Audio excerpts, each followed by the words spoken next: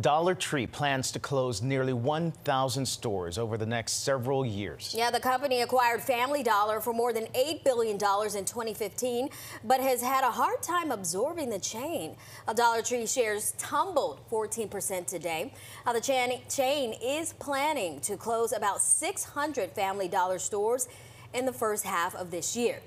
Over the next few years, they are planning to close about another 400 Family Dollar stores as well. And just for your reference, that's about 12% of all of the company's stores.